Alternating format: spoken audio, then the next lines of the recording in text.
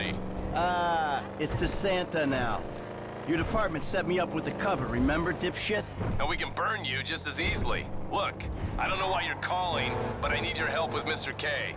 Trevor's on his way. Warehouse off Dutch London and Banning. This, I gotta see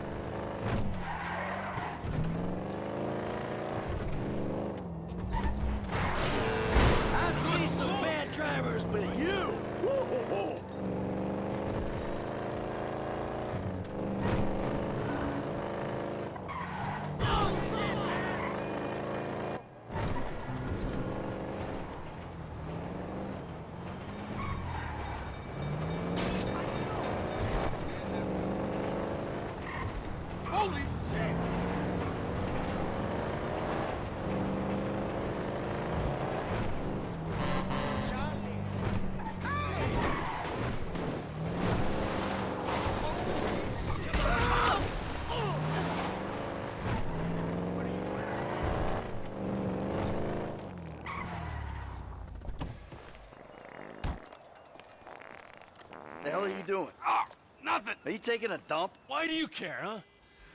The fuck is wrong with you? It's Caesar's place, round the corner from your house.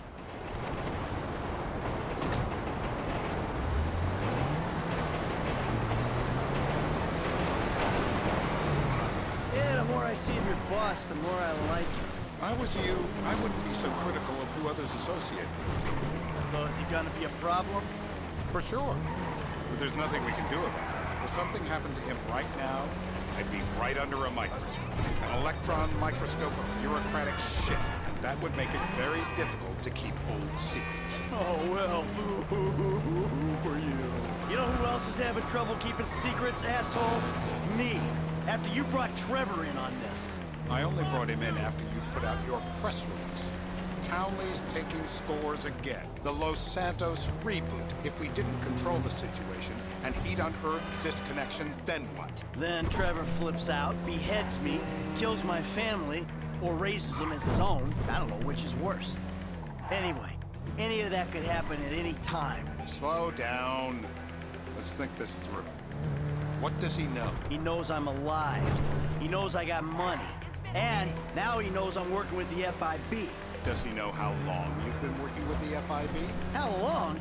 The fuck does that matter? Either you were working with us before the Cash Depot job, you walked your crew into an ambush, one of them spent 10 years on the run, and the other landed in a federal penitentiary. Or, or, we stumbled on the Cash Depot job, Brad went down, you went down, Trevor got away. The FIB cut you a deal on your sickbed, faked your death, and you end up here. Who's to say which of those is true? That there's any doubt probably accounts for you being alive. Back there, Trevor made you right away. The second he saw you. You remember after the bust, I was in all the papers. I was on the evening news. The man who killed Michael Townley. Yeah, I was quite a trophy. A good head to hang on your wall. Back then, sure. Not now. This is bullshit. Turns out that was the wrong Azerbaijani. We need a new address from Mr. K. Choose your instrument and go to work on it. Where do we start, eh, buddy? Uh, Wait! What are you talking about, the wrong guy? No! Who do you want? Just tell me what you want, huh, man? Huh, please, look at me, please. This'll put hair on your chest. Not that! No, come on, please! You can't! Don't do it! Turn him off! Not the clips! Not that! No! Shit, please!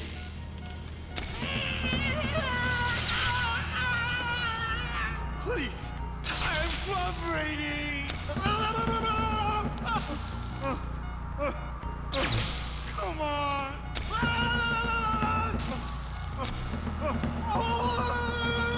You run out of...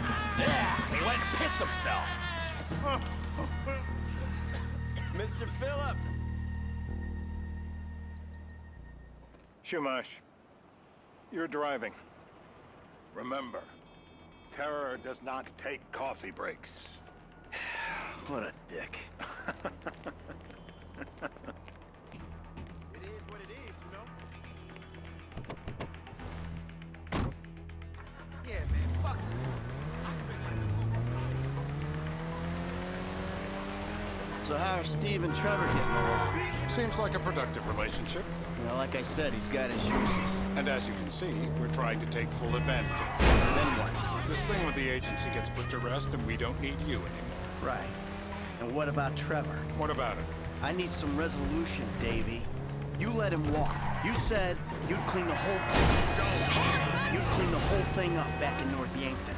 And you told me it'd be a clean job, no casualties. There were more eyes on that town than there needed to be. Yeah, well, according to my eyes, Trevor's your problem, Dave, as much as he is mine. He's not a problem at all. We're monitoring. Has he said anything about Brad? Fuck yeah, he has. Plenty.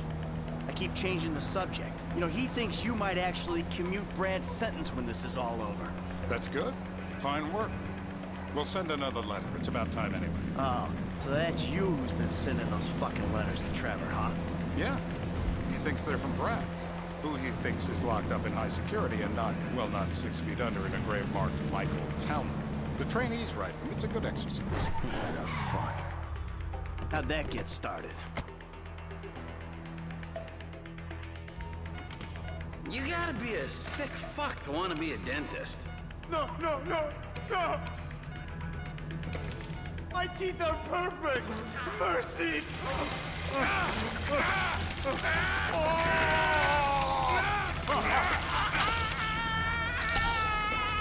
Oh, well, you ain't gonna be chewing steak anytime soon. I just want to get out of here! Hey, hey, hey, hey. Now? You're my eyes, Townley. What do you see? We're live. You see anyone down there who might be an Azerbaijani? Fuck do I know? You might be an Azerbaijana for all I know. What's one look like? They look Eastern. Half this town looks Eastern, Davy. You got the fall of the Shah and the collapse of communism to thank for that. Anyone stand out? No, they all kind of blend in. Make a call, Dave. We're gonna need some more info on this guy. They're having a party down there. That ain't gonna cut it, my friend. Shit, shit, I, let me think, I remember. If my mama had waterboarded me more often, I wouldn't be the gun-toting psychopath you see before you now. I was drunk! Oh! Ah, I was drunk! I got blood in my mouth!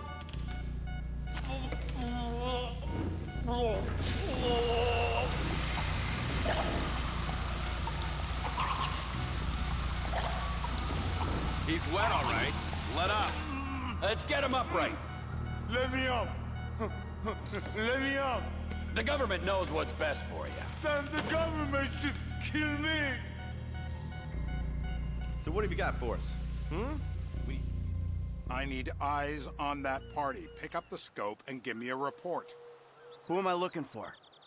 Steve saying beard. What do you got? Anything specific, or is some stubble gonna cut it? Let's start at Mountain Men and we'll work our way down until someone fits the profile. Ah, there's a few beards at this party. Vinewood's full of weak chins. Place is famous for it. Damn. Beards are in fashion in Chumash. Land of beach hipsters. We need more. It's gonna be a long day until you give us some intel. Where you want it? Nowhere! Please! It's going to hurt! I you're not scared! I guess our interrogation techniques were a little too advanced. I'm taking a shot of this after him. The light! Uh, Let me go through it!